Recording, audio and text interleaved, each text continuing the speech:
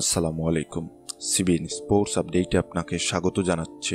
পাল্লাকালির দ্বিতীয় টেস্টে চরম ব্যাটিং ব্যর্থতায় বিপর্যস্ত টাইগাররা। দুশত নয় রানের বিশাল ব্যবধানে জিতেছে স্বাগতিক শ্রীলঙ্কা।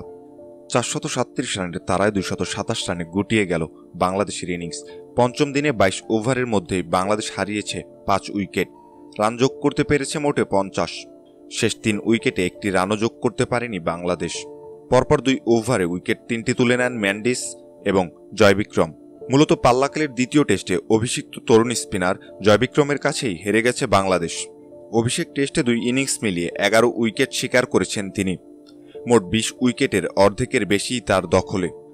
চতুর্থ দিন শেষে তবুও আশা জাগানিয়া কথা শোনা গিয়েছিল বাংলাদেশের শিবিরে।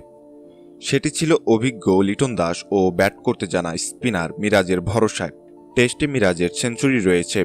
লিটন দাসের সেঞ্চুরি না থাকলেও আটটি অর্ধশতক রয়েছে। লিটন মিরাজের ভরসা করে অন্তত ড্রয়ের স্বপ্নটা দেখছিল কেউ কেউ। কিন্তু পঞ্চম দিনে সকালেই লিটন জানালেন, সতীর্থদের মতো তিনিও লঙ্কান স্পিনার জয় বিক্রমের বল বোঝেন না। মাঠে নেমেই দায়িত্বজ্ঞানহীনতার পরিচয় দিলেন। দিনের শুরুতেই আউট হলেন তিনি। যোগ করতে পেরেছেন মাত্র তিন রান। লিটনের পর মাঠে নেমে তিরিশটি বল মোকাবেলা করেছেন তাইজুল। যোগ করেছেন মোটে দুরান এরপর তেত্রিশ বলে সাত রান করে ম্যান্ডিসের শিকারে পরিণত হন তাসকিন। এর চেয়ে কী বা করতে পারেন তিনি? যেখানে দলের টপ অর্ডার ব্যাটসম্যানরা বিশ পঁচিশের মধ্যেই আউট হয়ে যান। একাত্তরতম ওভারে মিরাজ ও আবু জাইদকে ফিরিয়ে বাংলাদেশের কফিনে শেষ প্যারেকটি ঠুকে দেন জয় বিক্রমা মিরাজের ব্যাট থেকে এসেছে দ্বিতীয় সর্বোচ্চ উনচল্লিশ রান।